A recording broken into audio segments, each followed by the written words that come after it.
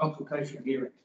You've got around about twenty submitters, so we will start off first with the Karakia and the Delhi will stand for that. I te whānau hui, whaia te mātauranga kia mārama. Kia whai take nā mahi katoa. Tū maia, tū kaha. Aroha atu, aroha mai, tātou i a tātou katoa. For this gathering, seek knowledge for understanding. Have purpose in all that you do.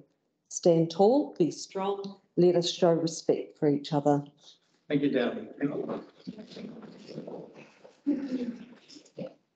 I know, so I'd like to first call Ben, well, to come forward, Ben? There's not, Oh, so sorry, just one sec, just take a second. I was going to do one more thing is that a couple of things um, I have to. So first of all, I note the apologies have been done and you've uh, accepted those. Secondly, I've got a resolution on page forty-five. And I'd like to uh, read uh, forty-six, isn't it? Forty-eight. Forty-eight.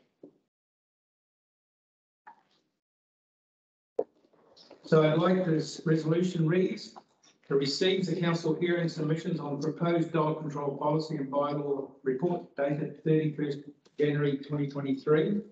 Two, receives the submissions made to the dog control policy statement of proposal and the dog control bylaw statement of proposal. Three, resolves to accept the following late submissions from Alistair Bailey and Peter Pratt. Do I have a mover?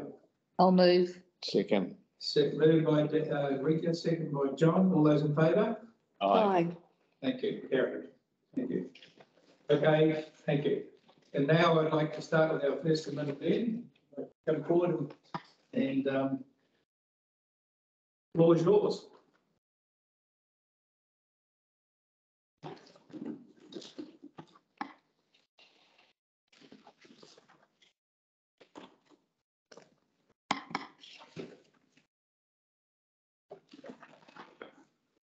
Okay, you will have read my submission.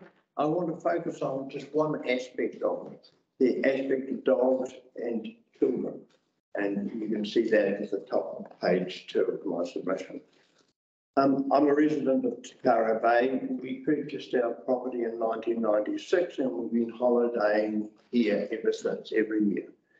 Um, we are, um, permanent residents. We've been permanent residents for close on ten years. So I have a fair amount of local knowledge, not just about um, dogs, but about the history of the area, and I've done a lot of research. Um, but also noting the changes in the area as, um, as the number of people and the patronage has increased. Um, I want to start off by talking about the Dog Control Act. In adopting a policy from this section, the territorial authority must have regard to, this is, uh, um, clause 10, four, the need to minimise danger, distress and nuisance to the community generally. B, the need to avoid the inherent danger allowing dogs to be uncontrolled, to have uncontrolled access to public places that are frequented by children, whether or not the children are accompanied by adults. And C, the importance of enabling to the extent that is practical, the public um, use of streets and public amenities without fear of attack or intimidation by dogs. And lastly, the exercise and recreational needs of dogs and their owners.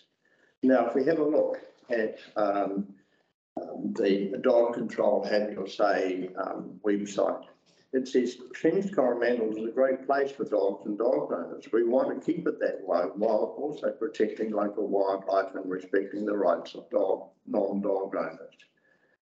Our dog control policy um, and the associated bylaw seek to balance the rights of dogs and dog owners while preventing any potential harm. And then it goes on in the draft dog control bylaw, part one preliminary provision, five, purpose. The purpose of this bylaw is to provide adequate opportunities to fulfil the exercise, recreational and socialisation needs of dogs and their owners while minimising any danger, distress or nuisance caused by dogs. My, with respect, I think council have got to ask about this. The, the, the, um, The um, Dog Control Act talks about minimising danger, distress and nuisance. It talks about avoiding the inherent danger to children. It talks about the importance of enabling um, people to use streets and public amenities. And lastly, it talks about the exercise and recreational needs of dogs. And I think that the bylaw should be actually emphasising and is required to emphasise the first three. Um, at Te Karo Bay, over the summer, it is a place constantly frequented by children. Every summer, apart from this year, of course, the Te Karo stream flow reduces and benign waves build up a sandbar across the mouth of the stream, creating a, a paddling pool, a large paddling pool, safe and perfect for toddlers. For a family, older siblings play in the surf because it's, it's quite safe, and the adults wa- watch from close by underneath the shades of Udakala. This is a family situation as much a family situation as the Pepe Reserve in Tairua, where you've got um, a structured play situation. This is unstructured play. Um, play centre, kindergarten have day trips here. The, the local primary schools bring their kids here because it is a perfect place for children. Dogs are permitted off lead and there can be as many as 20 at a time. Most roam the beach at will, most under a degree of control, but a significant number under no effective control. Dog fights are rare, but they do happen.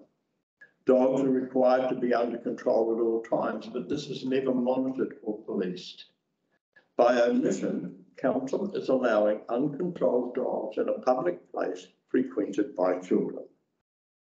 My belief is that it is inevitable that a child will be hurt caught between wearing dogs, perhaps, or warring dogs, perhaps.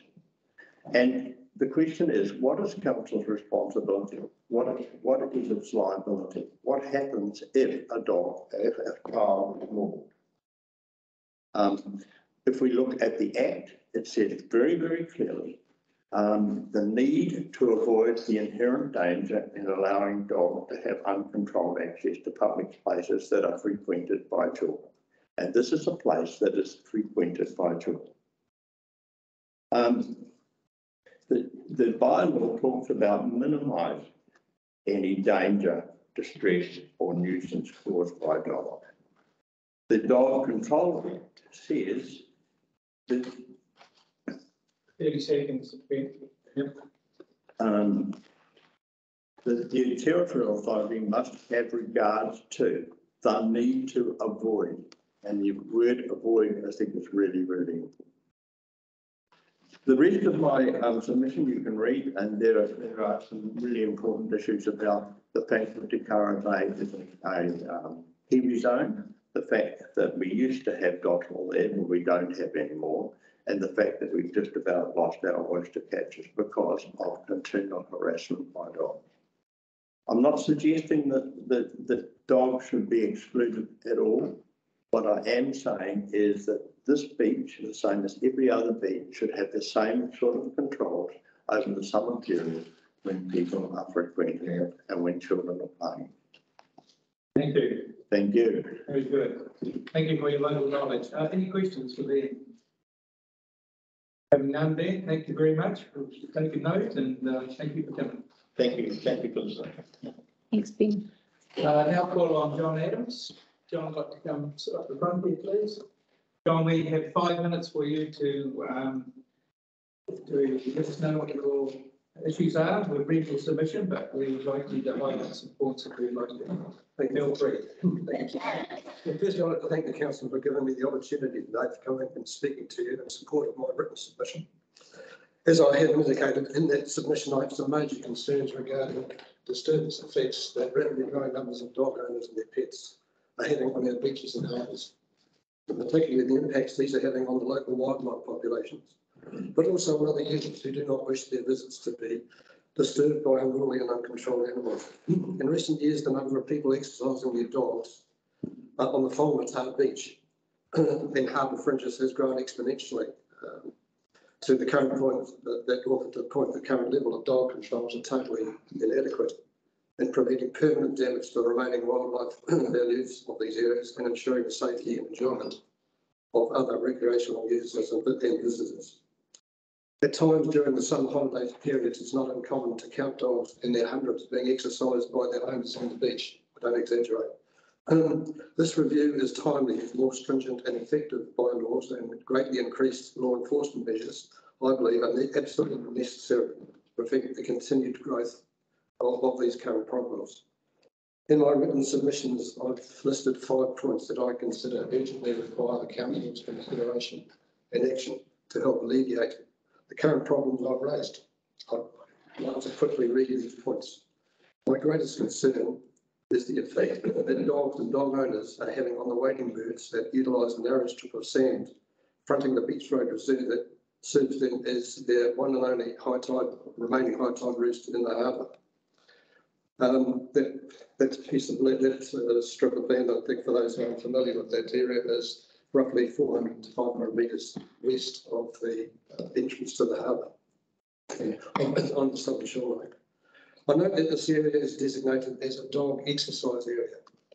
And I request that consideration be given to uplifting this and redesignating it as closed to dogs for the full twelve months of the year. I attached a report to my written submission that outlines uh, in detail the importance of this site to the local wildlife and the threats posed to, to their values, to these values. I'm also concerned about the lack of recognition, the important strip of beach and foraging uh, located between accesses ten and fourteen provides as breeding habitat for the New Zealand. Five to seven pairs have attempted to breed uh, here over the last three seasons with no success whatsoever and extremely limited fledging uh, success in earlier years. Nest disturbance by dogs and people have unfortunately been identified as the main cause. I strongly recommend that this area also be designated as closed to all dogs during the breeding season. I have very very briefly the DOC submission uh, to this review, and in particular, I'd like to express my support for the concerns they have regard, regarding the confusing signage uh, currently in place. This requires urgent and immediate attention. Although I understand and commend the council for undertaking this review, I'd like to take this opportunity of expressing my dissatisfaction at the current level of law enforcement that is undertaken at the Whangamata Beach. There seems little use when having dog, dog if there is virtually no or very little compliance effort being undertaken. A large section of the ever-growing number of dog owning holidaying public openly flout the dog bylaws and ignore sometimes aggressively any efforts by concerned locals seeking their cooperation to keep their animals under control. If you do nothing else, please significantly increase law enforcement of the by warrant office and actually issue offence notifications and take prosecutions against offenders. It has become public knowledge that law enforcement of the bylaws is most unlikely to result in, in punishment. I support DOC's proposal of bringing the dog's prohibited starting date back to October the first, but see little to be gained keeping it closed until the end of February. Most dotterel nesting is ended by the, by the young, uh, the- and the young, sorry, fledged by the end of January. Uh, in addition, I strongly recommend the following, that the council seek sites as designated dog exercise areas open to the public throughout the year. Such sites are increasingly being provided by other local authorities on reserve lands that do not have important wildlife values or other recreational uses. They are commonly provided with doggy do bag dispensers and disposal facilities and very popular socialising by both dogs and their owners. Um, in conjunction with the Department of Conservation and the local volunteer New Zealand dotterel nest monitors, the council, the council review all the signage relating to protection of wildlife populations and the dog bylaws and replace the existing signs with much simpler and clearer ones at all public entranceways. Uh, Thank you. This is the advice submission. Well done, thank you. Any questions? for- So is, um, the, so you said there, you, you were sort of seem to be indicating that breeding, breeding season is October to January Yeah. rather than the February that's proposed? Yes, mo- most of it is fully fledged and, and, go- and, and, and it- it's the area by the end of January.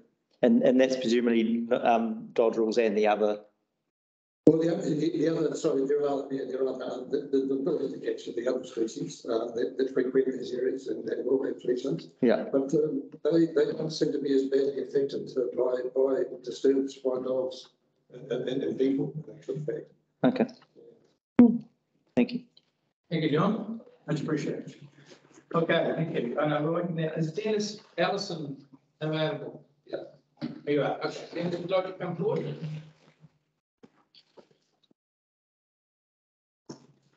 Dennis, we've had your submission, but we've got five minutes to uh, highlight any points or issues that you'd like us to uh, correct and understand. Reading, just a second. Hmm, fair enough, Terry. I'm also from Whangamata, permanent resident there, have been for the last uh, fourteen years. Um, and I can understand what the council are trying to do, like most other political entities, they're trying to keep a balance where everybody gets a chance. And Whangamata Beach is a long beach, we're about four and a half kilometres long. And the problem we have is that we've got dogs everywhere, up to four hundred and fifty dogs during Christmas, New Year period. And it's great to see everyone enjoying themselves, but the dogs have a, have a serious impact on the breeding of our dotterels and are a threat to young children. My, my thought is that to try and please everyone, keep dogs on the beach, is that dogs should be on a lead at all times. This would allow the dogs to be there playing with their, with their owners, because at this time, dogs are not under control once they hit the beach. They see so many other dogs there that they just want to go and sniff them. Now, going on with what John said about confusing signs, we have a problem with the signs because somebody will come down access five, walk along to access ten. But at access ten, there might be a sign that says dogs must be on a lead because you're approaching a dotterel nest. This is fine, but they don't see that sign because they've come down access five. Now, if dogs were on a lead during the whole time they were on the beach, um, when the dotterel season is on, I'm sure that we would alleviate this and you've, you've now got both parties happy. Because that signage was very confusing and if, uh, as, a- as a, one of the volunteers who helps monitor the dotterels and protect them, it is very difficult to explain to people why the dog signs are so confusing. I know they've attempted to alleviate that by having a flip flap thing on the, on the signs of access ways. It doesn't seem to work if there's a dotterel nest nearby. And there's more need for compliance officers. I cannot believe that we have one compliance officer that does the whole of the South Coromandel beaches. It is just ridiculous. I've had, we've had some good officers there looking after this, but this year I haven't seen him there one single time.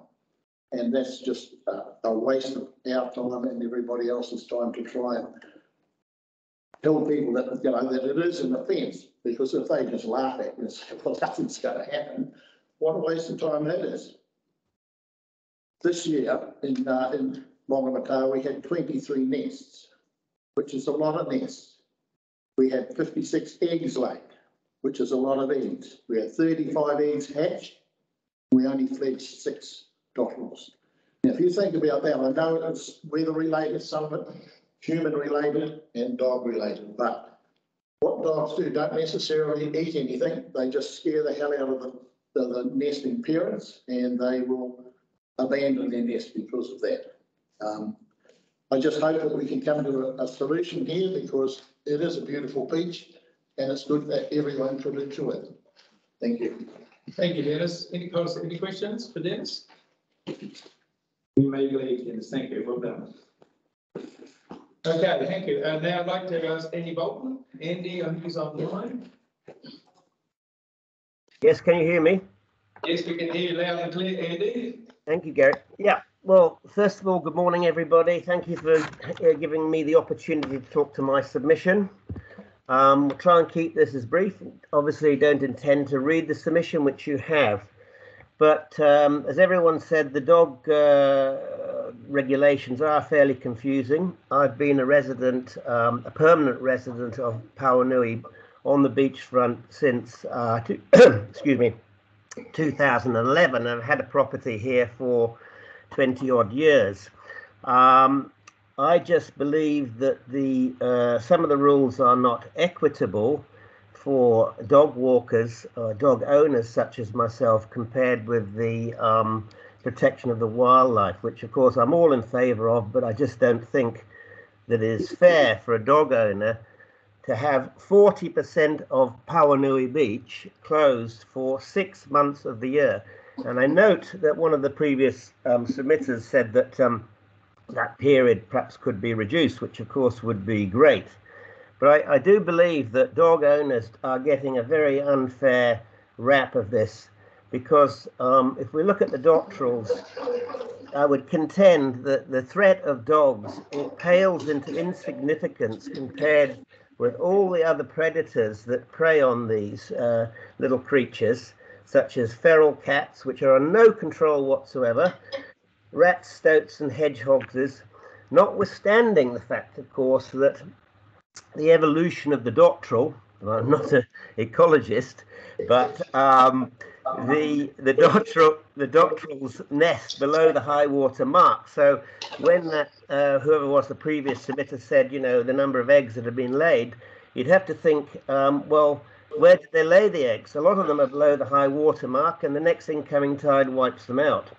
So I don't think the dogs are the um, primary cause of why there are so few dotterels being fledged. And I do have some numbers on Pauanui Beach and uh, in the area that I'm talking about, which is north of the surf club to Billy Point, which is the area which is closed for dotterels from Labour weekend through to the 1st of March, we are talking single figure digits. We're talking four, five, six, seven doctorals fledged per annum over the last three or four years in that area.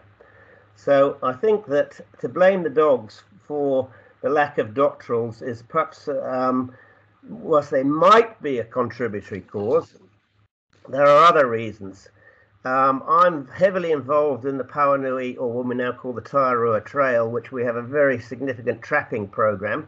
And um, with over 200 traps in that area. Now, when I walk down and look in the in the dunes at uh, Pauanui in that area, I think I've seen one trap there. So if we, if the dotterel um, minders are serious about um, you know, preserving the eggs, I would suggest that the predator control program needs to be significantly improved. Um, and don't don't start blaming the dogs, which is, seems to be um, yeah the case here.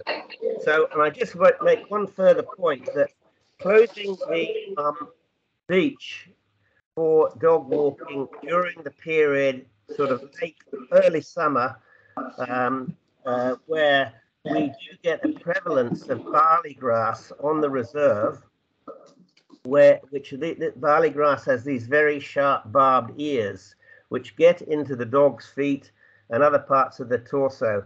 I've had to take my dog to the vet every year. Get I check him every time he comes back from his walk with me, and um, I've had to take him to the vet every year at a cost of some six hundred dollars. So if I was able to walk my dog on the beach at low tide, where um, the dog would be 100 meters away from the toe of the dunes where the dotterels seem to lay their eggs, that would be on the lead. I'm pre- quite prepared that we could have the dogs on the lead there, um, but they're prohibited entirely at this time. So I think there are some solutions. Uh, I've mentioned a few other uh, tweaks to the bylaw wording in my submission, but they're fairly minor. Um, just to summarize, I, I just think that as a dog owner, uh, we are we are getting an unfair rap, and I would like to see some amendments to allow some relaxation in the area and or the timing for the beach closure north of the surf club. Thank you very much. Thank you, Andy. Uh, any questions for Andy? Thank you, very comprehensive. Thank you, Andy. Uh, and, uh, we'll, uh, note those points. Thank you Okay. so much.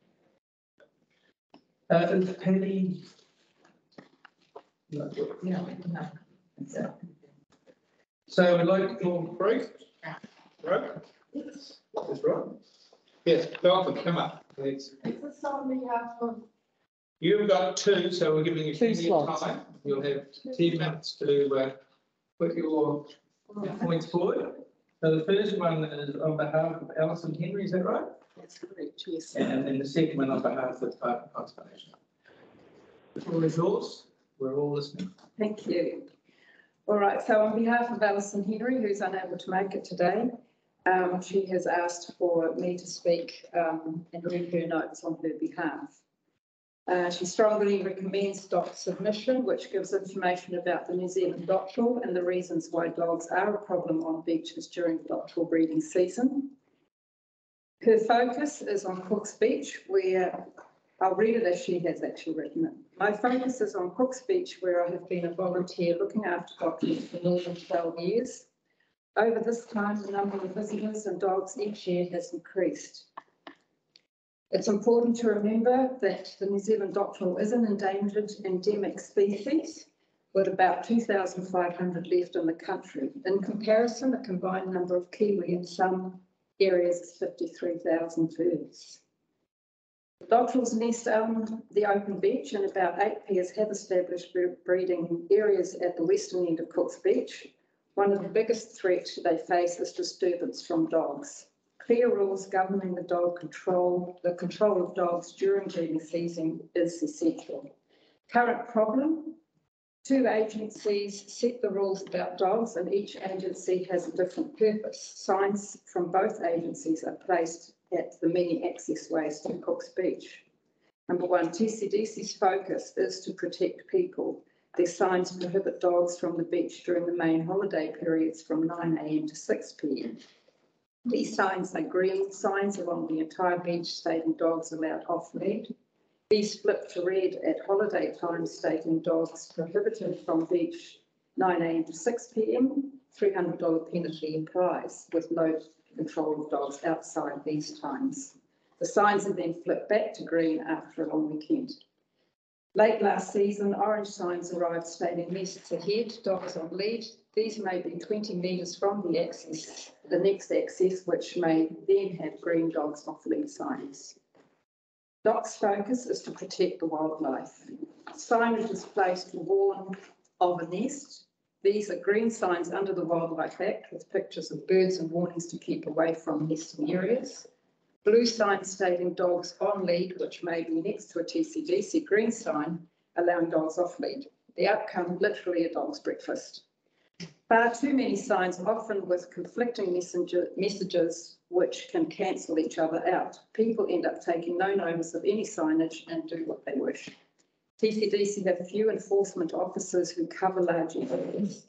It is a waste of their valuable time flipping green signs to red then back to green after a holiday. What is required at Cook's Beach? The number one focus must be on protection of these endangered birds. It is essential that both agencies present a clear and consistent message. Simple signs are needed stating what dogs are or are not allowed to do on specific parts of the beach. The recommendation from the first of October to first of March to stretch of Cook's Beach from the main access opposite number 29 30 Marine Parade, um, just along from Reavers Ave, to the stream at the western end of the beach and around the stream to the mangroves. This is about a quarter of the beach. Signs co-branded by both agencies showing one message, dogs on lead at all times, first of October to the first of March. East of this area, current regulations remain dogs prohibited nine AM to six PM. Dog exercise area at Powen, at Pooring remains the same. Well, this actually does mirror what um, I have in my, um, I'll just ask, uh, thank you for that. Just ask if any questions around that submission. Yes, Mark? Um, yeah, sorry, I'm just trying to get back to, um, so the recommendation C was saying Shakespeare Cliff Reserve be designated an off-lead dog exercise area. So, and I'm just looking at that on the map at the moment. So that would be that whole that whole area suggested for that? Um, I'm not familiar with the Shakespeare Cliff area unless that is something to do with, um, with Lonely Bay. Oh, yeah. That to me would be more the Shakespeare Cliff. Lonely Vale, um, Cove. right, okay, Which is also under the same rules as Cook's Beach. right. Okay, right, Which is what she's proposing and I outlined the same in my submission. Was from that area from 29, 30 um, Marine Parade through right to the end of, of the west end of the beach. okay, so thank you for that. So you may start your one for the Department of And also just add to that, that the dotterel season does end at the end of February, um, mid-March. The breeding season part finishes maybe mid-January. But after that, we still have fledglings on the, on the beach that are unable to fly. So they possibly won't fly till about the end of February, um, mid-March. Oh, Just, just to confirm that. All right. Hello, so you have your five minutes, away you go. Thank you. I'll do my best. Uh, kia ora. I am Frapp Miller from the Department of Conservation and I'm the project manager for the Coromandel Dotterel Management Program. The program helps to protect over a quarter of the endemic northern New Zealand dotterel population at 43 key breeding sites across the peninsula. Aside from monitoring, fencing and the placement of signs, a large part of the program involves advocacy and education, Within the program, we also manage a large network of volunteers who dedicate their time and efforts to protect these charismatic little birds. The most challenging battle for our rangers and dotterel minders is the summer visitor surge that brings with it an obvious increase of dogs, and that's Labour weekend onwards, being exercised at these breeding sites. Even dogs on lead are an extreme disturbance to nesting shorebirds, and that dog bird will leave a nest to distract the threat, leaving eggs and chicks exposed. Therefore, dogs off lead are far, far more dangerous. It's worth noting that dotterels are creatures of habit and will nest in the same area on the same beach each year. With this in mind, as well as the number of breeding pairs and likelihood of a successful outcome, DOC proposes the following dog bylaws, dog bylaw changes. Dotterel breeding season is from mid-August through to March and dog restrictions restrictions commence at Labour weekend. It would be beneficial to have this brought forward to the first of October, providing an additional three weeks of quiet dog restricted beaches for chicks to grow and fledge before the busy season arrives. At Kuaotunu Beach, Dog, DOC strongly supports TCDC's proposal of a dog's prohibited area from October to March. However, the size of the proposed dog's prohibited area could be reduced. Six pairs nest in close proximity to the stream at the eastern end of the beach, leaving three quarters of the beach free for dog exercise area. The stream provides a safe space for families to swim. Having dogs in the area as well only exacerbates the disturbance to nesting birds. A dog's prohibited area surrounding the stream from October to March each season will give the dotterels the potential to fledge 12 to 18 chicks. This season alone saw more than 12 nesting attempts with no success due to dogs' disturbance. At Cook's Beach, approximately 10 pairs nest along the entire beach, with the majority of eight pairs nesting from the main walkway entrance, 2930 Marine Parade, through to the recreation reserve at the western end. This area would benefit greatly from new dogs on lead at all times rule from October through to March. During the nesting season, we have approximately 20 temporary dogs on lead signs in place and multiple beach accesses. The area covers less than a quarter of the entire beach and it would greatly lessen the confusion it creates to the public and workload to dog, control officers. Due to the number of access points, official and unofficial, aerial phot- photographic signage would be essential. Whangamata Beach has 20 breeding pairs plus, with the majority at the southern end of the beach at Otahu Estuary. Due to territorial competition, some of these pairs are spreading themselves further along the beach outside of the current dog prohibited zone. DOC proposes the current dogs prohibited area is extended north to beach access 15, a small increase but hugely beneficial to the existing three pairs that nest there. Current rules for the remainder of the beach could stay as is. DOC and volunteer dotterel minders had an extremely difficult season at Tairua Beach. The dog's prohibited rule is only in place from nine AM to six PM from the twentieth December to the thirty-first of January. This means temporary signage must be installed, which is often ignored by local dog owners. On a regular basis, we see dogs roaming freely through the sand dunes and chasing birds inside fenced areas with no owner in sight. Bylaw review aside, dog owners are aware that fines for breaking the rules are rarely issued and these need, this needs to be addressed urgently. With review and changes to the council dog bylaws at certain beaches, dogs on beaches will continue to severely impact the local dotterel population. We understand that Coromandel beaches are popular spots for owners to exercise their dogs. We're not asking to exclude dogs completely, but creating small pockets of dog-free areas at certain beaches will help dotterel breeding efforts immensely. In areas where a section of the beach is prohibited for dogs, Okama, Pauanui, and the Poetry Beaches are perfect examples of how dotterels and dogs can share the beach successfully. And I can provide statistics to support this. Finally, DOC will support all existing wildlife restrictions around the peninsula that we have in place now. Thank you for your time. Thank you very much. Any questions? Yes. Question? Um, my dotterel ecology is quite rusty. Um, so um, we've had a previous bit of talk about the ground-based predators, but um, they're, they are also attacked by aerial predators, are they not? So leaving the nest is a problem because they're open to attack by. Yes, so there's avian predators and they're mainly blackback gulls and they will attack a nest or chicks that are unguarded and um, yeah, can swallow the eggs or even the chicks in one go.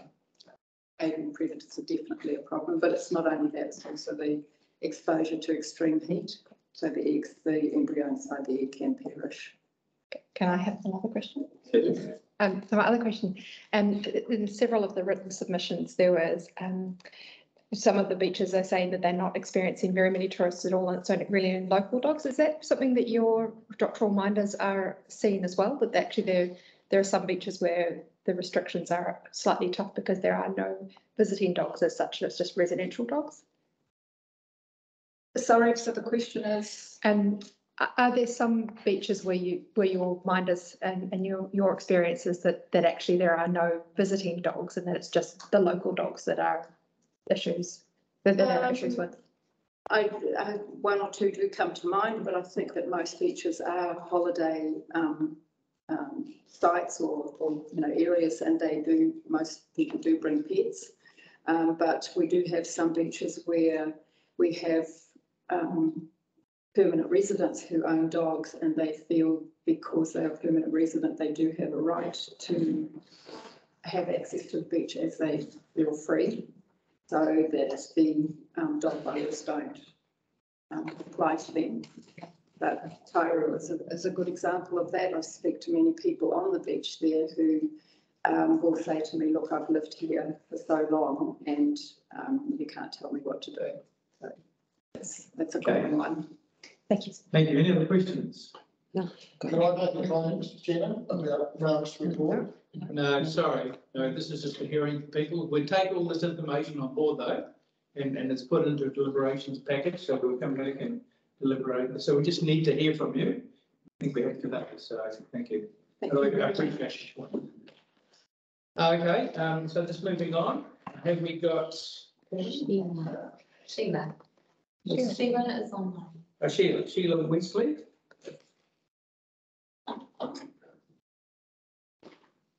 Right, can you hear me? We can hear you, yes, loud and clear. You Right, can- Your camera on and off, it's up to you, but uh, we can hear you. yes. thank you. This, this is in addition to my submission after talking to um, 26 local um, residents. I've been a resident in Kuaotunu for approximately 15 years now. So I'll just read off my notes. Certainly. Um, I had a consultation with 26 Kuaotunu residents and bach owners.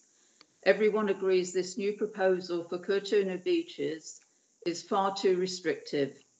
especially pr- the prolonged ban over the summer months of the main part of Kuaotunu East Beach.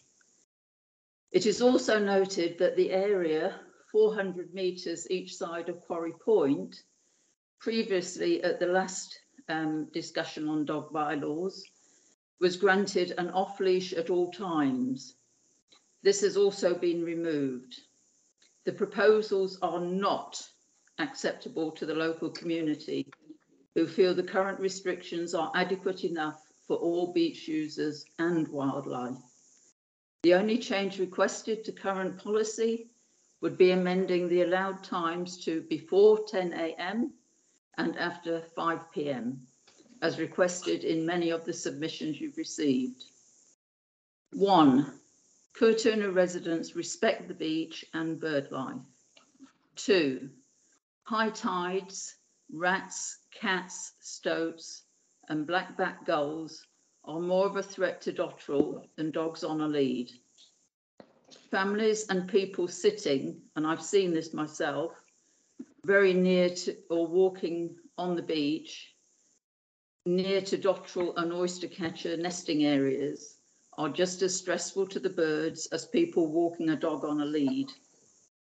The new proposal would mean Kuaotunu would not have an all year, anytime off-leash dog exercise area. Apart from walking on a busy State Highway 25, where there are areas with no footpath, there are very few areas to walk dogs. DOC and TCDC need to work together with clearer signage and educate the public regarding nesting birds. During holiday periods, it would be advisable to employ local um, people to educate beach users. I know this has been done at Whitianga Wharf and apparently it's working well. An online petition against these proposals that I put up now has 240 signatures to date. I'd like to stress the bylaws, which somebody else has mentioned, are supposed to provide adequate opportunities to fulfil the exercise, recreational and socialisation needs of dogs and their owners. The proposed beach and reserve restrictions do not allow the needs of local Kuaotunu dogs and owners. Also, minimise the potential of danger, distress or nuisance caused by dogs and promote the responsible management of dogs. This is why people should have a lead on their dogs at all times when they're in areas where there are children or any other possible danger. If dogs were made to be put on a lead, there would be no need for this total ban. Thank you for listening to our caring community, Ku- Kuaotunu residents. Thank you, Sheila. It was uh, very informative. Um, Any questions for Sheila? No, well, thank you. That- We've heard your submissions and your points. Thank you very much. Thank you. I'd like to now ask Gary Hines if he'd like to come on. Good morning. Good morning, Gary. Uh, Welcome, and uh, you've got five minutes to uh, let us hear what your issues are. Uh, thank you for your time. It's, I'm talking on Te Puia Hot Water Beach. I'm chair of Hot Water Beach Lifeguard Service out there. And for the, well, probably the last 15 years, we've been working with the uh, Dotterel crew looking after the Dotterels. Our first point probably is that we've got an MOU with Ngāti Hei and conversation with Joe. Uh, it's fairly apparent to them it's a very sacred site, as you guys probably fairly well aware. It's an Urupa. And he, in his version of it, doesn't agree with dogs being on that end of the beach and south end of the beach around because it's an Urupa and the defecation of dogs down that end. Rolling forward onto that, once we get like pre-COVID, we were having 800,000 people a year coming to Hot Water Beach. So you've got a large number of people down that end of the beach, plus dogs. It's not a good mix. And for us, we've got to go down and we, we go down and kind of police that as part of our job of looking after the kaitiaki of that location. So we're constantly telling people in the first part of this season, we were telling those first uh, two months of the season, we had two to three dogs a weekend coming onto the beach that you'd have to go down and explain to them they weren't allowed down there. And over the peak period, where we're there for seven days of the week, you're looking at three to three to four dogs. There's now uh, seals appearing along Te Puia quite regularly. We've had three or four uh, leopard seals down North End, and when, uh, yesterday morning, while I was out at the beach, we actually had uh, one coming up down the south end. So that with dogs is not a good mix. Uh, for us, a complete ban for that end works better because it's easier to uh, kind of police. And with the hot pools, as you're all aware, they don't come into a set time between, say, six and nine during the day, or six, nine in the morning to six at night. They can come and range it, so it's easier to keep it policed the way it is. And just with the sheer number of people coming on the beach, I personally like to see it get extended from the start of October right through to Easter. So we're actually covering that peak peak period of numbers of people on the beach. Thank you. Thank you. Uh, Gary, uh, any questions for Gary? No questions, Gary, so thank you for your information, we've noted, and, uh, thanks for coming on today. Not a problem. Thank you. Thank you. Um, it's Brian, Brian Patrick. Uh, Welsh, Welsh, Welsh? Walsh. Okay. Is he available? I think it's a typo. I think it's Walsh. It's supposed to be Welsh. Can we have you, Brian? Submission. He is online, he's, he's actually come for his phone, so Right. can you unmute Brian?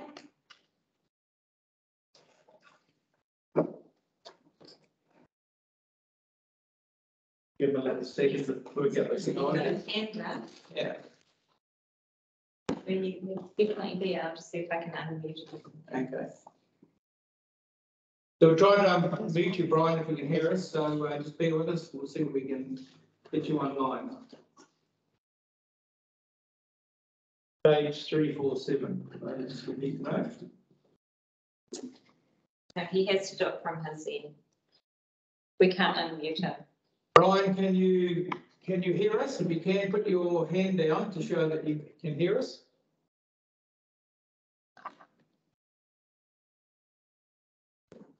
Oh, yes, okay. So, so we need to unmute your end. We can't unmute your end from here, so you must have a mute button on.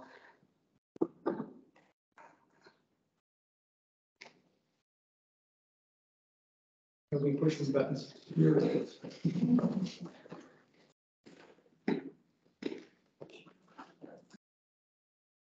We'll just give him a couple of seconds. This is the last person before eleven o'clock, so try and bear with him for a few minutes to see if we can get him on.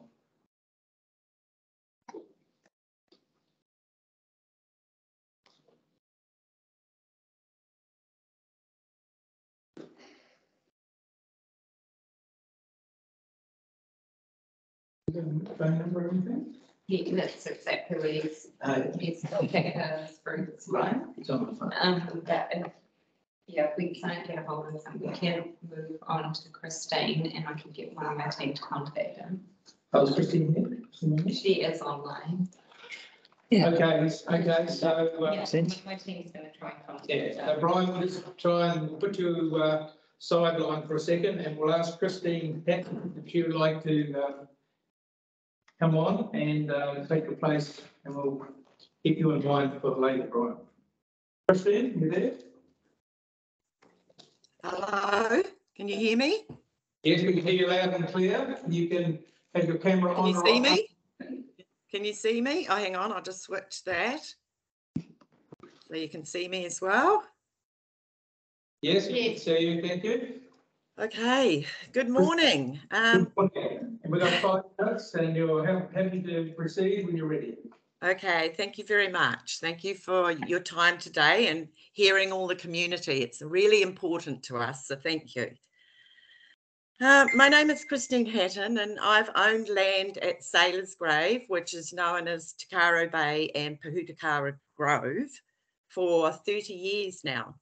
I work at the aged care in Tairua as an activities coordinator and a caregiver. So I'd like to just start with the saying, dogs are a man's best friend.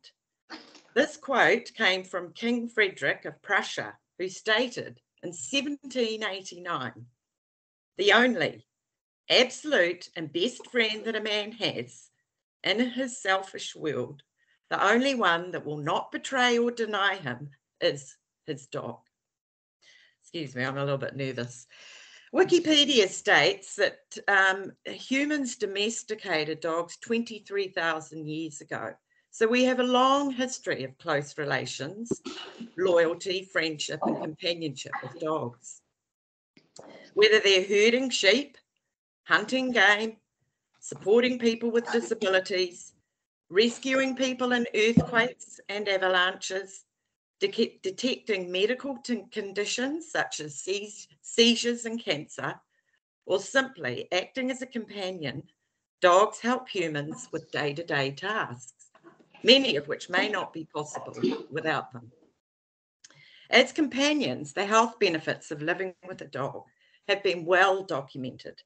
Many scientific studies, and as reported in a recent Time magazine, the health benefits of living with a dog include links to a longer lifespan, lower risk of cardiovascular disease, reduces the adverse health effects of living alone, can decrease allergies and asthma in children, and increase opportunities for socialisation.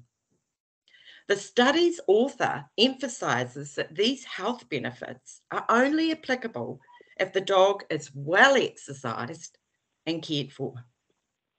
Even if dogs didn't provide direct health benefits, the unconditional love and companionship they offer is invaluable.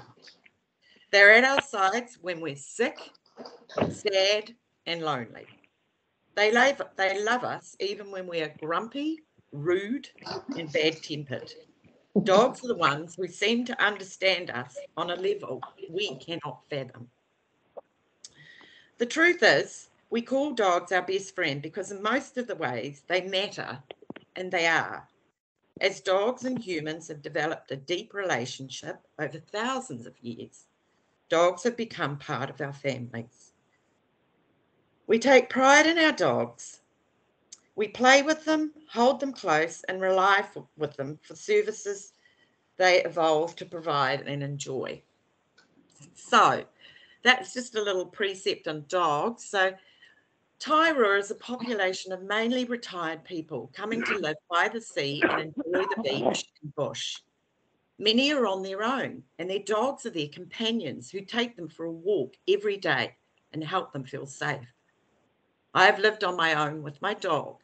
He gets me out every morning for a walk, is always excited to see me when I get home from work, and snuggles up with me at night on the couch while I read a book or check my emails. He is my family.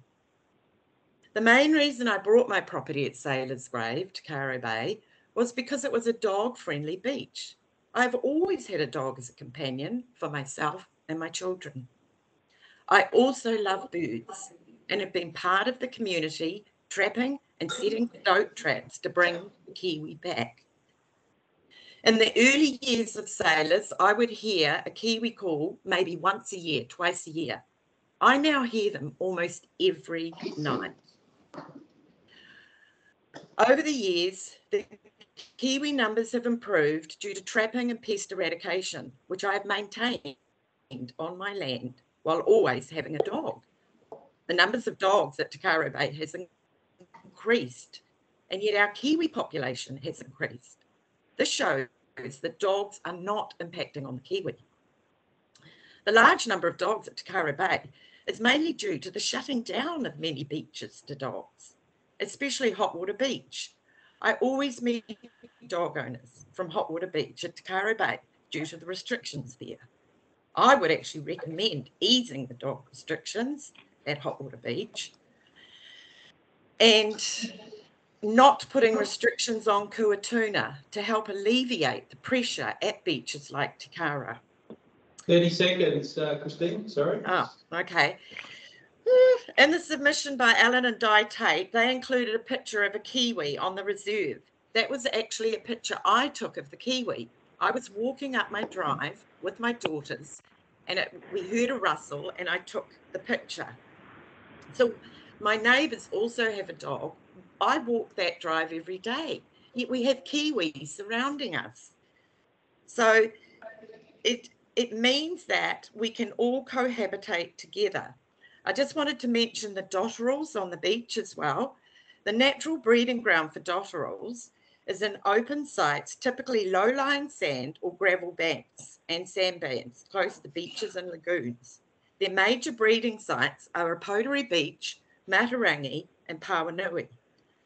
Te Karo Bay and Pohutukawa Grove have, are bordered by cliffs and rock faces with high tides constantly washing out the whole beach. That's destroying the birds' Christine, Christine, Um, I just wanted to state one more thing, that the tides are actually washing out with climate change and I've seen the destruction more than dogs on the beach. Um, I do want to finish with my summary of, I would like to see Te Karo and Pohutukawa Grove, commonly known as Sailors, as kept as a dog-friendly beach. The track from Te Karo Bay to Otara Beach should remain a beach, a walk for Kiwi trained dogs or dogs on a lead. We need to maintain current beaches that are dog friendly, such as Kuaotunu, and look at identifying beaches and areas that can reopen. Thank and you. Christine?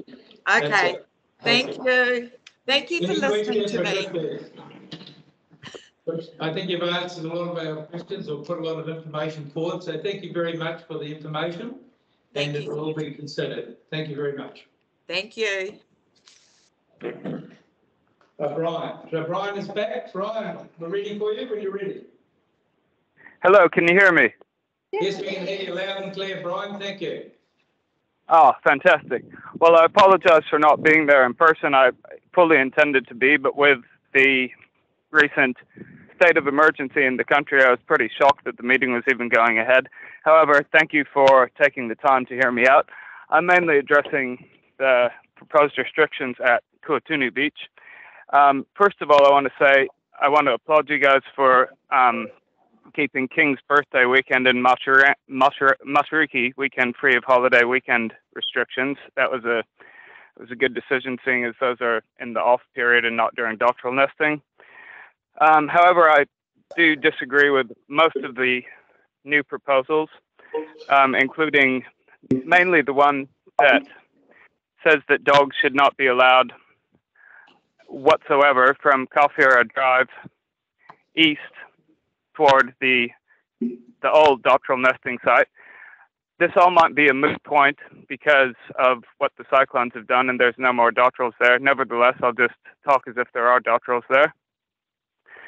Um, well, all the action, all the action of restricting from the first of March, uh, sorry, for Easter and Anzac weekend, all that does is put more stress on the people. See, the people, now that we have more people in the district owning dogs than ever before, I was absolutely shocked that you're putting more restrictions upon us instead of loosening the restrictions. The locals are responsible, they keep their dogs on the lead when they're anywhere close to the old doc- dotterel nesting sites. I also agree with Sheila that the area on Kuaotunu to the west of Kawhira Drive we fought hard in order to get that for a dog recreation area. There are no dotterels down there, and there's no reason why that should be removed. You got to bear with me here, people, because I'm trying to not read directly off of my notes, uh, um, directly off of my submission. I'm just sort of skimming through. I didn't. You're good. You're well. Yeah, sorry about sorry about my sort of stop and go there. Anyway, I won't waste any more of my five minute time. so yes, um, I vehemently disagree with prohibiting dogs east of Kuaotunu's Kawhira Street beach access from Labour weekend to the 1st of March. Um, hundreds of meters of beach in those areas, the dotterels aren't even there. They're down by the creek, or they used to be down by the creek.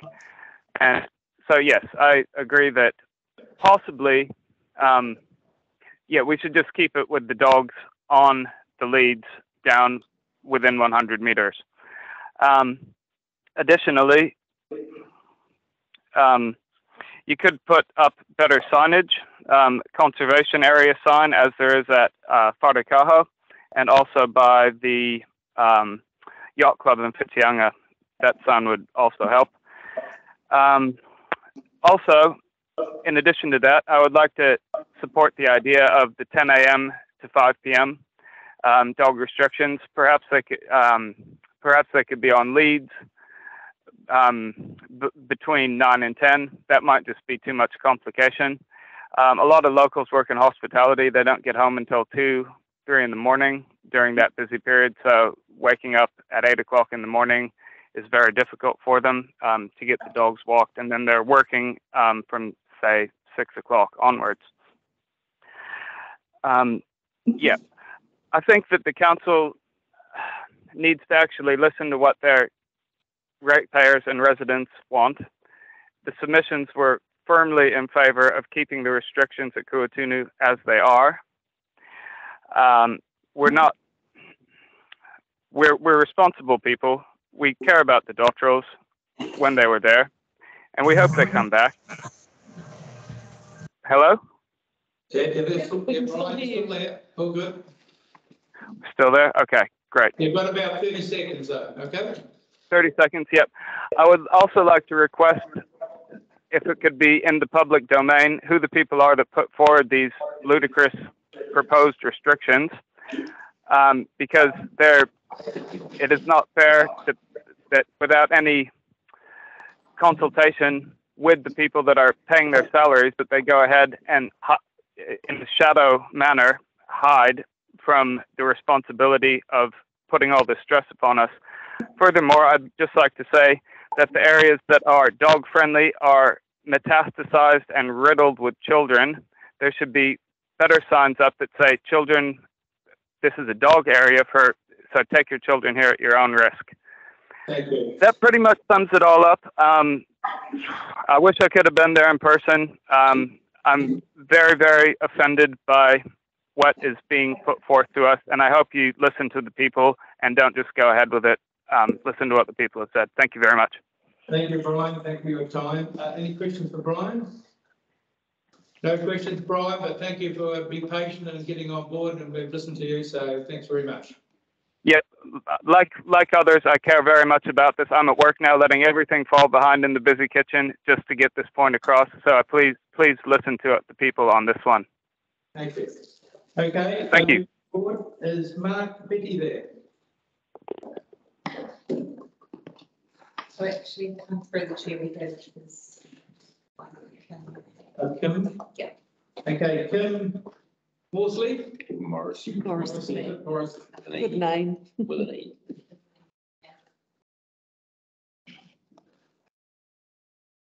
Are you there, Kim? Ah, yes, I can see you, thank you. We can't, You're, you're on mute. Tēnā koutou katoa, can you hear me? yes, we can hear you loud and clear, thank you, Kevin. Uh, yes. Hello, thank you. Um, firstly, I You're just want doing, to, hold a sec, are you doing two submissions here at the moment? You're doing one for yourself and one for, on behalf Um, of? no, what, I'm going to do one on behalf of the ratepayers group, um, and my partner Mark Fetty will do a private one on behalf of the two of us. So we'll just keep those two separate. If Okay. Which one are So- you going to do first? She's gonna do page Right, one nine page. four. One nine four, thank you, okay. Thank Way to you. go. Thank Yeah. you very much. Um, I just want to acknowledge your time um, in the state of emergency that um, you've uh, committed to going ahead with this. I, f- I find that very impressive, and we thank you for your efforts and hope your times aren't too pressured. Um, so I'm the co-chair of the Hot Water Beach Resident Ratepayer Group alongside of Jane Francis. We're about one month old, and so we're very much in catch-up mode. Um, so I'm speaking on behalf of the Ratepayers Group in their submission. Um, we are talking to the change that took place in the dog policy rules for Hot Water Beach in 2016. Um, originally, the council at that time had uh, sent out business as usual rules and uh, had suggested no change. But through the 2016 um, submissions, uh, submissions were made that substantively changed the rules of Hot Water Beach um, without any further consultation with the residents and has had an enormous impact on the well-being um, of the dog owners and the dogs of Hot Water Beach. Uh, so the rules that were pu- put in place in 2016 create um, no access at all um, on the southern populated part of Hotwater Beach for four months of the year. So for four months of the year, dog owners cannot go on that part of the beach at all. It effectively cuts the beach in half and creates no access to the other half of the beach. Um, so it requires residents and ratepayers to get into their cars if they wish to walk on the beach for four months of the year through the summer. So we're proposing that, that those rules be changed back to similar rules for half, um, acknowledging. So there are significant issues that have resulted in us not being able to access that beach for four months of the year. It requires us to get into our cars. So I acknowledge what Sheila Wesley said from Safe that it requires us to go to local beaches in our cars. So it creates car parking issues. It creates um, further uh, cars on very busy, congested roads already. Um, a lot of sustainability issues about getting residents into cars for um, elder populations. And so essentially, we're not managing the issue locally, we're pushing it into uh, beaches like Sailor's Grave, Hahei, and Cooks, and it's a very common activity to do. Um, just one moment. Um, also, the, the rules are very blanket, and so it doesn't reflect the actual usage of the beach. Uh, the beach is very determined by access to the hot water, as I'm sure you are aware, and so it's based on the low tide. And um, so that does determine it, but still, even if the low tide is in the earlier morning and the later evening, it does substantially reduce usage. So these very restrictive blanket rules actually don't really address the issues. And so even though there's very little use of the beach during these times in the morning and late evenings, we're still not allowed access and it does create a lot of difficulties for the community. There's very limited public land in Hotwater Beach and so there's only one small dog walk, which is quite limited for us to walk in. Um, so we propose, it also creates inconsistencies with our local beaches that are very similar, Hahei and Cook's Beach. So we have very similar dynamics. We have very similar dotterel populations as far as we're aware of, and yet our rules are substantively different. So it creates um, both inequity but also inconsistency and confusion. And there's still a lot of confusion even in the local community, let alone with visitors, what rules actually are here. Um, so we're seeking equity and consistency. Um, we do cherish our local environment. We wouldn't live here un- unless we did actually love local community and natural environments. So we're very aware of the need to balance the needs of the environment with um, the uh, residents, but also balancing that need for the visitors. We're a very, very small uh, community. Um, so our political voice can be very small. So it, um, I feel it would be um, very important for council and the local community board to support the local residents, even though our political voice is very small. The impact of the enormous amount of visitors we normally get is quite, quite big. So what we're seeking is um, to develop rules similar to Hahei, but in acknowledging the hot water, placing more on-leg rules. So we are suggesting instead of no access at all for four months, that we have access before 9 a.m. and after 6 p.m. in that very busy summer period of the 20th December to 30th of January. Um, but that outside of those times that we are on leave hot water. So we are aware of the different nature of where we are. Thank you. Is that, is that wrap that one up? I think it does wrap it up. I just let me have a little quick look at my notes. Yeah, I think that's us. So I really appreciate the council having a good look, particularly of the nature of what, how the rules were changed in 2016. Um, the council didn't believe there were issues. The changes were proposed through submissions and not re, re um, consulted with the community. So the council itself didn't see any issues. And what seems evident through the changes is there was no evidence for the changes in those rules. So the dog incident stats through 2011 to 2021 show no elevation in any dog complaints in a Hot Water Beach compared to Hahei and Cootsby quite low. And there's been absolutely no reduction after these are restrictive rules. And our dotterels are very similar to Hahei. So the changes appeared not to be evidenced or principled. They were more created through the engagement. So we would really request the council to go back and take a good look at those and engage deeply with the local community that is massively impacted by these rule changes. Um, Thank you. Thank you Thank so you. much. for your time. And, and just any questions first for Kim? A very comprehensive uh, submission, and I'm sure we've uh, noted a few of your points, I'm sure. Thank you. Thank you. Thank you very much. Thank you. I'll pass on to Mark. Morning, Mark. Morning. Into my It's your, your turn. Away you go. We're all listening, so you've got your five minutes. Uh, we're happy to hear. Thanks very much. Lovely to be here. Um, my heart goes out to all those that have been suffering from the uh, cyclone and other effects. So, and uh, good work, uh, council, for getting things uh, sorted as quickly as you had and as best you can. Um, well, I, I'm I'm speaking as a as a resident, a long-term resident of Hot Water Beach, and um, and uh, as an animal behaviourist um, and uh, and a zoologist, and uh, so I'm kind of speaking with a few different hats here, but the, the uh, points that Kim brought up that uh, um, have come out of the Ratepayers Association, which I'm involved in as well, is uh, are very clear and and explain um, that our real concern is that the 216 rule change um, lacked equity and uh, and that the and really has compromised uh, our uh, resident population here and restricted us to a very small area um, with our dogs. You'll know that we have uh, you know, legal responsibility to walk our dogs um, and uh, and care for them in an appropriate way. So uh, it requires us th- thus to get in, establish a big footprint, and drive all over the place to dogs to other beaches that have the good fortune to have more sensible rules.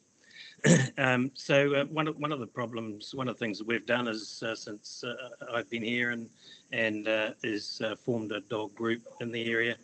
Um, I'm off down to Tauranga to do a a talk on Saturday to the dog population down there, dog and owner population. And so education, of course, is the answer to most of these problems and collaboration is absolutely critical. Um, the value and the reason why it's important that we have dogs in our community were explained very well by one of the prior callers talking about the um, the benefits that dogs bring to humans in so many ways. We're an older population here mainly, although there's uh, young people as well with dogs. And um, so, you know, um, as emphasised in, in some of the earlier submissions, the significance of, um, of dogs to um, our population is critical to, to health and welfare of the people. And, uh, and it's a huge effect. And uh, I could go into that great length if you wanted to, but we don't have time, so I won't. Um, but it is a, a fundament and a really critical issue to understand that this is, we're talking about the health and welfare of people, not just dogs. And um, so one of one of the things that we really tried to do is look at the science behind it. And uh, you know, I've, I've, been studying and I do um, counts of the dotterels and and we manage the the uh, areas where they breed and so on.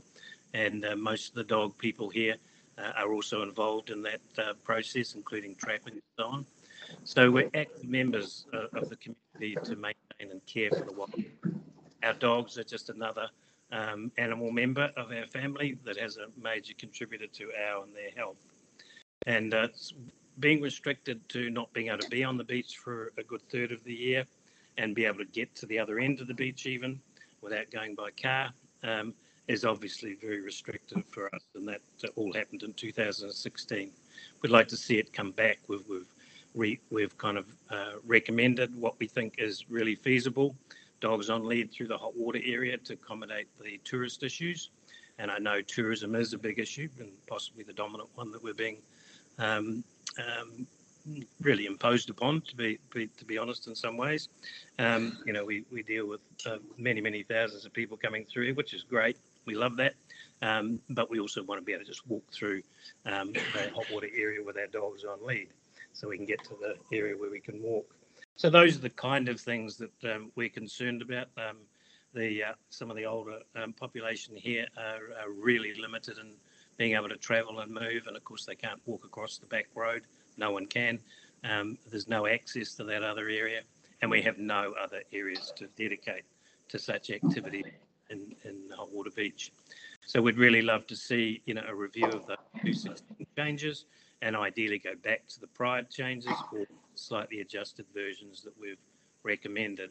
We've reviewed the dog. I work with dog control and uh, all over the country and with TD, with the councils uh, advising and uh, also with DOC.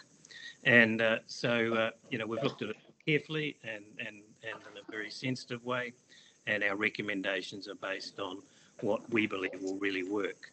And, uh, and I think that we've been meeting with the council for three or four years. Um, so it was pretty thrown upon us very quickly to put this proposal together. Um, and uh, so, uh, um, but we have uh, been reflecting on it for three or four years now. So our, our findings and our recommendations are well researched and we believe collaborative and, and uh, considers the care and welfare of, of our wildlife um, predominantly as well. So two things can work together and most people who love dogs um, also love other animals and, and we're all contributing here to the balance and the beauty of this place and the sustainability of wildlife that uh, can at certain times of the year, um, the example between November and, and February, um, particularly when the when the um, fledglings uh, haven't quite flown yet. There's about a month in there. That's the susceptible stage, and uh, of course we take great care through that time, including helping manage them uh, to be safe. We've, got all of our chicks through this year, although we've had sustained quite a lot of damage from the storm um, to their nesting area. Um, but um, yeah, so we want to be a collaborative team. We want to work with the council and dog control and the other um, parts of the council that um, are responsible, and we have been doing so. And we would like, uh, in return, um, you know, some consideration to the the residents who actually do that groundwork to maintain um, a, a beautiful, sustainable uh, wildlife environment and Thank our dear dog companion. Well, uh, thank you, thank you, Mark. You were pretty good with your timing as well. So, um, any questions for Mark? Yeah. Yes, yeah. So Mark, I see that um, that table's really helpful. I really like the way that you've put those proposed um, changes in the table in comparison to the current rules. Um, I know they reflect the Ratepayers Association ones that Kim presented. Have, have all of the, I know um, not everyone is a rate, rate ratepayer um, member, association member or attends meetings. So you've had a bit of a um, anecdotal sort of discussion with all the dog owners and they're on board with your proposals, your proposals? Yes, we've, we've, we've formed a group basically to to uh, um, to do exactly that. You know, so we've um, we've brought we've invited everyone in the community who has a dog and doesn't have a dog, whoever was interested, and um, so we've had uh, a lot of um, you know collaboration and chats, and um, Cool. we've looked up the research in, in all the different areas from dotterels to oyster catchers to um, and uh, and of course dog um, uh, numbers and to, uh, the the issues that uh, the council uh, records. You know, I think we've got we had two issues a year on average compared to um, the other um, place like Hahei and Cooks, which have some something like ten to twenty times more issues. Um, and uh, so it's the, and the issues have stayed stable or fallen. So um, so we're definitely um, not seeing issues. I mean, I, for the for the time that I've lived and looked on this beach and worked on it, you know, um, we don't have free ranging dogs here. We don't have um, uh, out of control. Not to say some people can't come and be silly, um, but uh, we're monitoring and looking after the beach um, uh, closely, uh, and that includes, um, you know, surf lifesavers and all the others who are involved on the beach regularly. So it's a well well managed beach, and, and we work closely with DOC as well on the dock and oyster. Okay, thank you, Mark. Thank you. Any other questions? Well, thank you, Mark, and thank you, Kim, uh, for your submissions, and uh, we've duly noted some points. Thank you very much. Thank you. Excellent. Mark. Thanks for hearing us. I appreciate your good work. Thanks. Tim. Okay. Uh, now calling on Brent Page. Brent Page.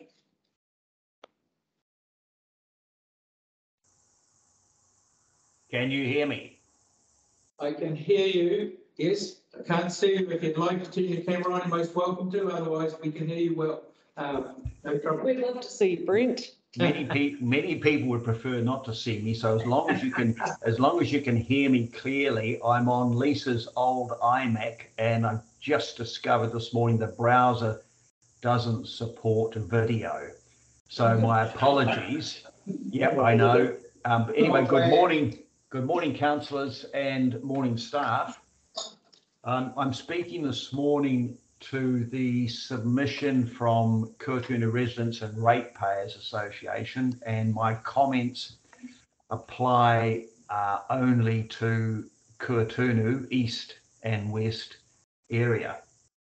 And going through the submissions, I see virtually the only submission uh, in favour of the proposed bylaw changes for Kuaotunu was from the Department of Conservation. So I thought I'd um, address the environmental aspects, and it got me thinking around the world, all good environmental projects have three distinct features. And they are number one, good science. They have two, they have education. And three, to succeed, they always bring their local communities along with them. And if you read anything about international environmental projects, those three features stick out.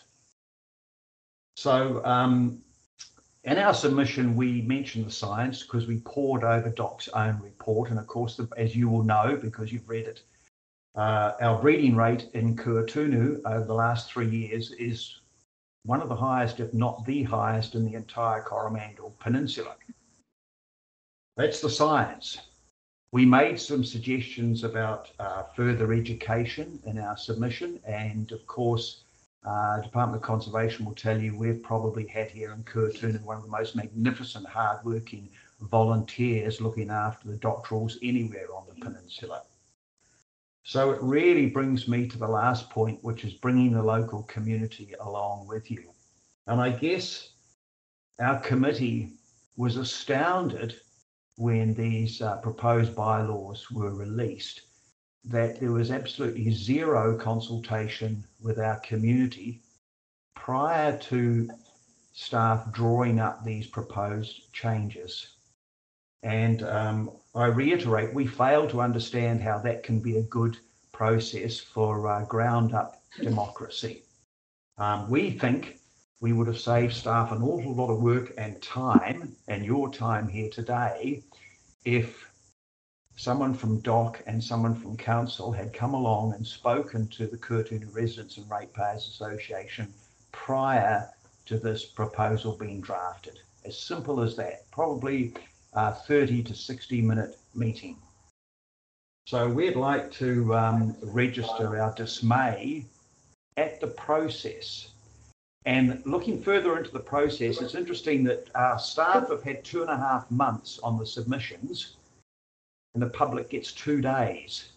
And I, and I fail to understand the democratic process there and the balance in terms of um, time needed to pour through those submissions, but also I can't understand the complete lack of transparency there. Anyway, that's a bit of an aside. Um, I don't think I've got anything else to say because I think our submission is clear cut. My only last point is I think staff in TCDC that work with KRRA would, and I hope they would, support my um, comment that we do a lot to um, build up uh, solidarity and goodwill between all our partners, TCDC, Environment, Waikato, and Department of Conservation.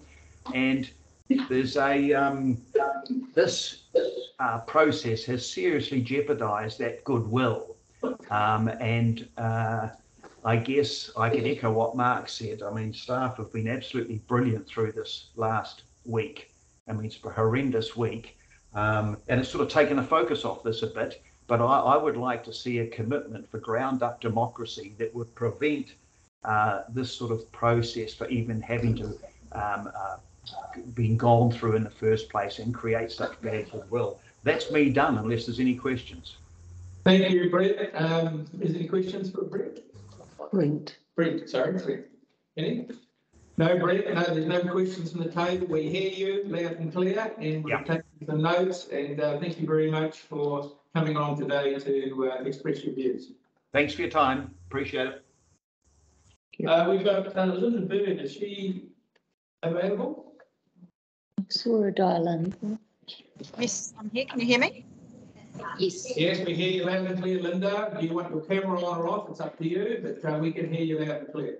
I'll, I'll leave it off. My internet's a little bit slow and jittery today.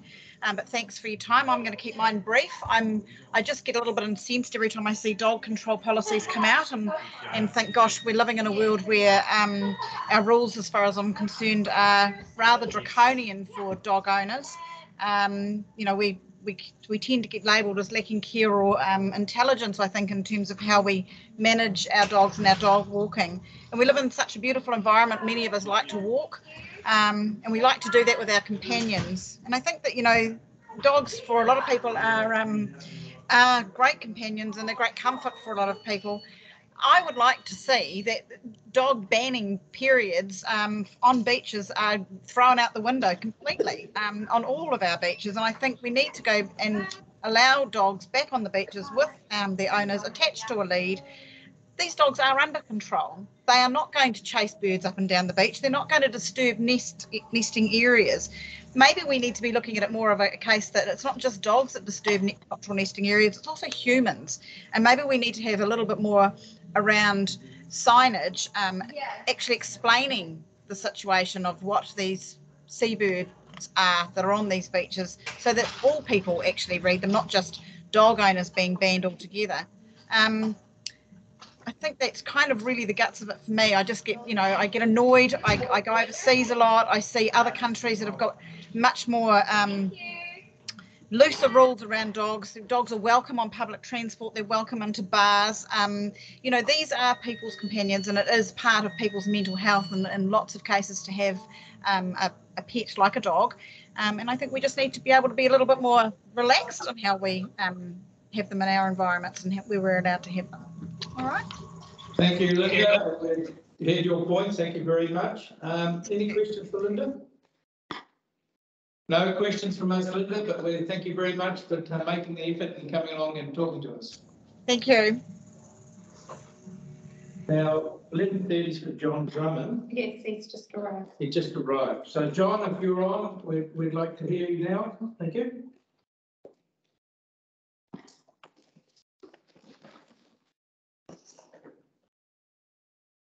You're on mute, John.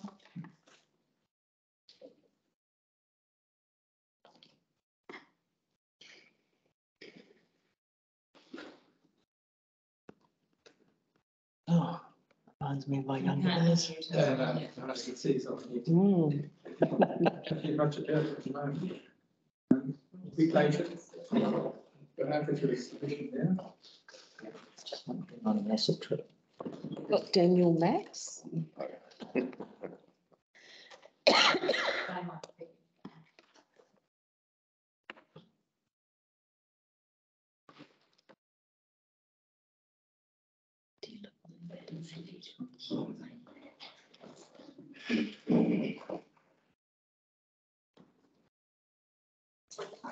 Nothing, nothing. So you just wanna just ask them again, I'll just a message. Message, okay, thank you. Be with them.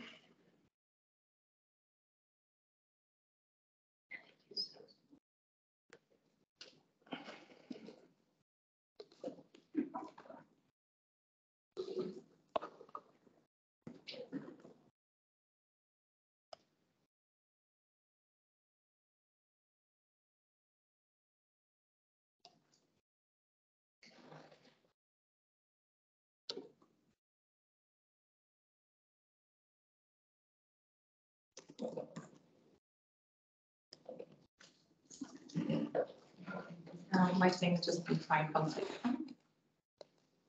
And It's fine. No, no, good. You'll do But it. it's not, yeah. Okay. Because the next. No. So John is our last speaker today and he's from the Tairua Environmental Society, so we'll just be with him for a few moments and see if we can bring him on board.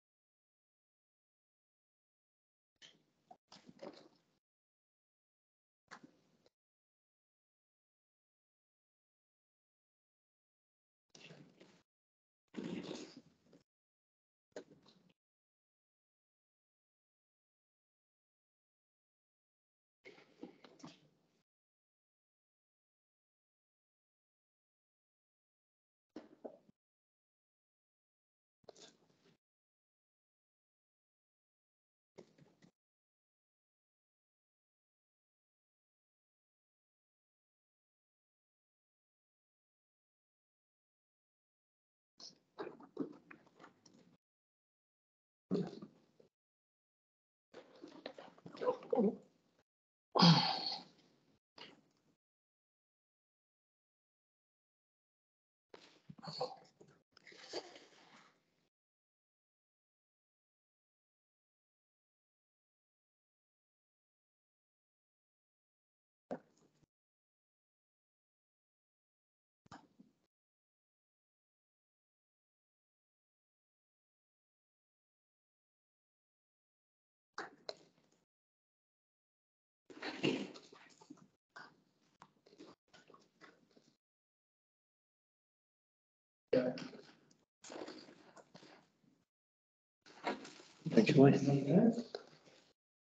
John, can you hear us?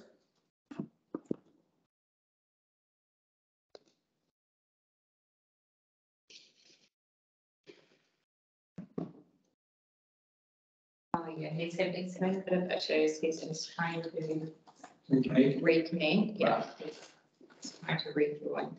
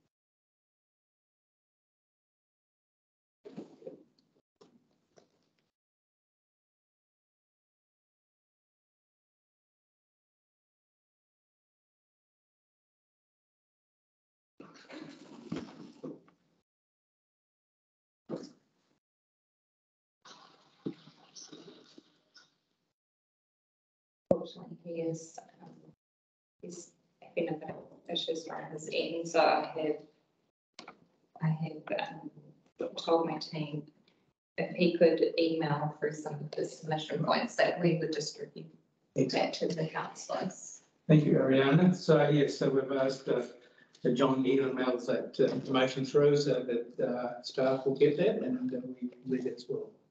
So I think that's the end of our uh, submissions today. I want to thank council very much for giving up their time today to uh, come listen. And for staff, I hope there's some information that you can consider. Thank you very much for your time. And uh, I'd like to uh, declare the meeting closed at eleven thirty-seven. Thank you. Thank you, Mr Chair. Thank you. Thank you. Bye. Thank you. Oh, yeah. Garrett, thank you, Garrett. Hang on. Bye-bye.